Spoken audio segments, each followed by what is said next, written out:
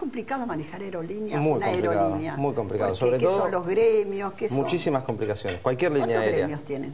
Eh, de empleados de aerolíneas, seis, más los gremios que tienen vinculación con la empresa, los Sí. controladores aéreos. Chicas no- coman, ¿eh? porque lo hicimos no especialmente dependen para de ustedes. nosotros, pero inciden en el tránsito aéreo, Sí. el, el personal de seguridad, de limpieza, incluso los que proveen el catering, muchísimos gremios. Pero es una parte de las complicaciones que tiene cualquier línea aérea. Y la nuestra en particular, cuando el Estado decidió hacerse cargo, decidió que no quiebre, que no cierre Sí. y recuperar aerolíneas y sostenerla y poner plata para eh, modernizarla, para recuperarla, para que vuele más, estaba muchísimo peor que cualquier otra línea aérea, con muchísimas complicaciones operativas, comerciales. Hace un rato hablábamos con, con Maximiliano. Maxi.